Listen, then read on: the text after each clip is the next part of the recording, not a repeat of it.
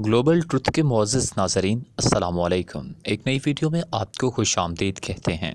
Israel, Iran जंग में तुर्की की दबंग एंट्री ईरान का बदला कब और कैसे लिया जाएगा और दबान के एक ही बयान से आलम कुफ्र लरस गया। ख़तरनाक तरीन ड्रोन ईरानी सरहदों पर तैनात करने का फैसला। नेतन चाहू की चौधराहट खतरे में। ईरान ने देखते ही देखते मौसाद का अहम तरीन अहदेदार उड़ा दिया। जंग के बादल मजीद गहरे, मशरक वस्ता में घुमसान की जंग। पाकिस्तान, चीन, रूस भी मैदान में आ गए। वीडियो में तफसील से ये भी बताएँगे कि क्या ये हकीकी तीसरी आलमी जंग का आगाज़ है या फिर न्यू वर्ल्ड ऑर्डर? क्या पाकिस्तान, तुर्की, ईरान, इसराइल के खिलाफ एक हो चुके हैं? मुस्तबिल करीब में क्या कुछ हो सकता है? दोस्तों मशरक वस्ती में पुरस्कार, खुफिया दौरे, सरगर्मियों और तल्ख बयान में इजाफा देखने को मिला है। ईरान के साइंसदान मोहसन फखरी ज़्यादा का कत्ल, इसका पहला दाना नतीजा साबित हुआ है। मोहसन फखरी ज़्यादा को तेहरान के करीब निशाना बनाया गया। इस हमले में वो शदीद जख्मी हुए और अस्पताल पहुँच कर दम तोड़ गए। नाजिन इक्राम वीडियो का आगाज़ करने से कबल नए आने वाले दोस्तों से गुजारिश है की वो हमारे यूट्यूब चैनल को सब्सक्राइब कर लें। ईरानी वज़ीर खारजा जवाद जरीफ ने इस वाक़े में इसराइल के मुलवस होने की बात की और पासदारान इनकलाब के सरबराह मेजर जनरल हुसैन सलामी ने यह ऐलान किया कि इस कत्ल का बदला लिया जाएगा। सुप्रीम लीडर के दिफाई मशीर हुसैन ने कहा कि डॉक्टर मोहसिन के कातलों को चैन की नींद नहीं सोने देंगे। उनसठ साल मोहसन फखरीजादा ईरान के एटमी प्रोग्राम के बानी वजारत दिफा इनोवेशन के सरबराह और इमाम हुसैन यूनिवर्सिटी में फिजिक्स के प्रोफेसर थे। दो बरस कबल इसराइली वज़ीर आज़म नेतन्याहू ने एक प्रेस कॉन्फ्रेंस में कहा था कि इसका नाम याद रखना। सबक इसराइली वज़ीर आज़म ने भी कहा था कि मोहसन फखरीजादा को निशाना बनाया जा सकता है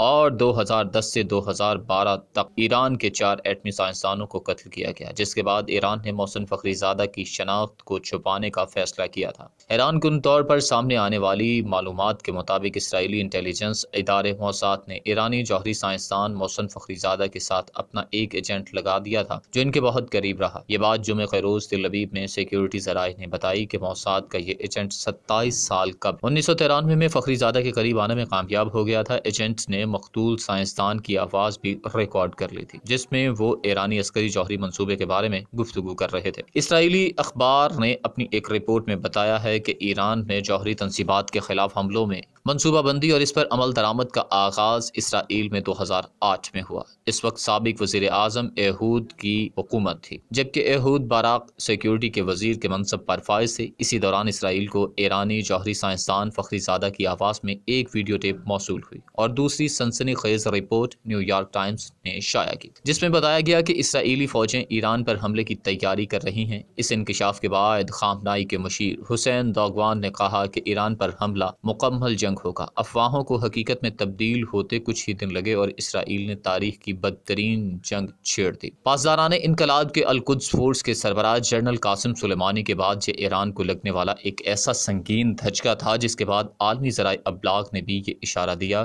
कि अब ईरान को जंग करने से कोई नहीं रोक सकता। इसके लिए अब ईरान बरह रास्त हमला करे या प्रॉक्सी के ज़रिए ऐसा करवाए, ये भी आहिस्ता आहिस्ता सामने आ रहा है। मोहसिन फखरीजादा के कातलों का नक्शे कदम इसराइल तक पहुँचना कतन अजब नहीं। ये इसराइल का पुराना तरीका वारदात है। दोस्तों, मशरक वस्ती में ईरान, तुर्की, पाकिस्तान, रूस, चीन का एक ज़बरदस्त इतिहाद है, जिसके तहत ये ममालिक एक दूसरे की मुल्की सालमियत पर पहरा देने के लिए मुकम्मल तैयार रहते हैं। हालात वाक़ात को देखते हुए एक खबर ये भी है कि इस कत्ल के बाद इसराइल में भी शदीद खौफ हरास फैला हुआ है और हालात कशीदा हो चुके हैं। ताज़ा तरीन इतलात के मुताबिक मकबूजा फ़लस्तीन के गयानतन टाउन में जमेरात की शब नामालूम अफराद ने एक पैंतालीस साल शख्स को गोलियों से भून डाला। गैर सरकारी जराए ने मकतूल को खुफिया एजेंसी मौसाद का अहदेदार करार दिया। फ़हीम हनावी नामी शख्स को एक ट्रैफ़िक सिग्नल पर रुकने के बाद पंद्रह गोलियाँ मारी गईं। इससे कबल मंगल के रोज भी एक तिहत्तर साल से होनी, अपने उनतालीस साल बेटे के हमरा कत्ल कर दिया गया था, जबकि हाल ही में एक इक्यावन साल से होनी ने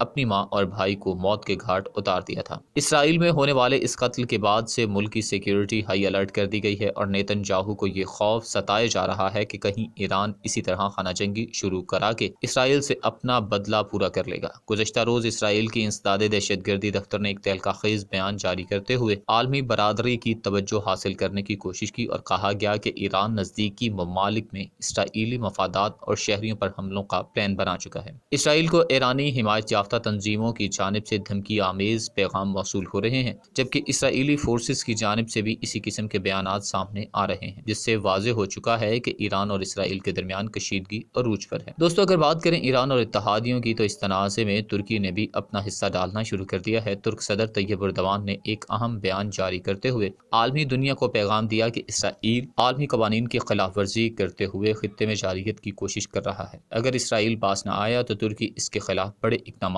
उठाएगा। माहरीन का ख्याल है कि ईरान इस वक्त बहुत मुश्किल और तकलीफ़ दे वक्त से गुजर रहा है। उसको उकसाने की हर मुमकिन कोशिश की जा रही है। इसराइल की शदीद कोशिश है कि ईरान कोई ऐसा बहाना बनाए, जिसको बहाना बनाकर अमरीका ईरान पर हमला कर दे। ईरान मुखालिफ हमसाया रियासतें बरह रास्त ईरान से टक्कर लेने की हिम्मत नहीं रखती। इसराइल समझता है कि अगर ईरान एटमी हथियार बनाने की काबिलियत और सलाहियत हासिल कर लेता है तो फिर ईरान इसराइल के लिए बहुत बड़ा खतरा बन जाएगा। ईरान को इसी वक्त अमरीकी हमले से दबोच लेना ही मसलहत है। अमरीका और इसराइल ईरान के साथ छेड़छाड़ करके मशरक वस्ती में लगी आग को हवा दे रहे हैं, जिसके असरात सिर्फ़ खलीजी ममालिक तक ही महदूद नहीं रहेंगे, बल्कि पूरी दुनिया पर मुरतब होंगे। माजी में भी ये तरीका सद्दाम हुसैन के खिलाफ इस्तेमाल किया जा चुका है। जब बगदाद में अमरीकी सफ़ीर ने सद्दाम को कवैत पर हमले का इशारा दिया तो यूँ सद्दाम हुसैन का अपने ये जाल में फंसने का आगाज़ हो गया। ईरान के साथ मुसलसल कार्रवाइयों का मकसद भी यही है कि ईरान को बरह रास्त किसी हमसाया मुल्क या अरब ममालिक पर हमला करने के लिए मजबूर किया जाए। फिर वही होगा जो सद्दाम के साथ हुआ। ईरान की क्यादत ने फौरी तौर पर जवाबी रद्दमल का शिकार न होने का रास्ता अपना कर इस दाम में आने से इनकार किया। मुसलमान दुनिया को शिया सुन्नी में बांट कर गर्म केक की तरह हड़प किया जाता है। जब ज़रूरत पड़ती है तो सुन्नी दोस्ती का लवादा पहनकर काम निकाला जाता है और नई ज़रूरत पर शिया दोस्ती का चोला पहनकर काम निकालने की कोशिश की जाती है। मकसद ये है कि इसराइल को मशरक वस्ता से एशिया और अफ्रीका तक बाला दस्त बनाया जाए और जो कसर रह जाए, वो भारत को ताकतवर बनाकर पूरी की जाए। इस खेल में मुसलमानों को कठपुतली की तरह नचाया जा रहा है। सऊदी अरब और दीगर अरब अकवाम इसराइल के साथ खड़ी हैं। यहाँ तक के बहरीनी वज़ीर ने यह ऐलान किया है कि अगर जंग होती है तो बहरीन मुकम्मल तौर पर इसराइल को सपोर्ट करेगा, जबकि सऊदी अरब की जानब से भी कुछ इसी तरह के बयान सामने आ रहे हैं। अरब ममालिक अपने मुस्तबिल से बेखबर और बेनियाज होकर एक मुसलमान मुल्क की गर्दन दबोचने पर खुशियाँ मना रहे हैं, जो यकीनी तौर पर इनके लिए मोहलिक साबित होगा। मुसलमान दुनिया को इस बात का एहसास नहीं कि वो किस बेरहमी की तरह टिशू पेपर की तरह इस्तेमाल हो रही है।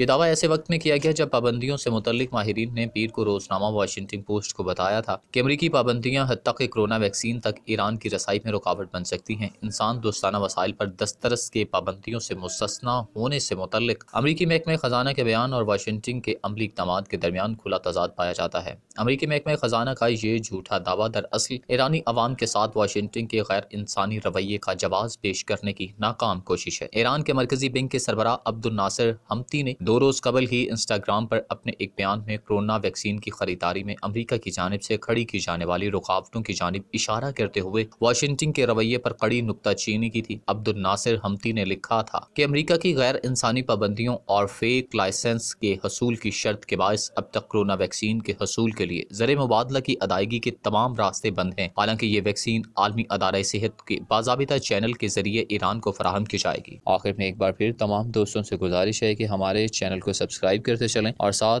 बने बेल आइकॉन को भी दबा दें, ताकि हमारी हर नई वीडियो आपको आसानी मिल सके। शुक्रिया।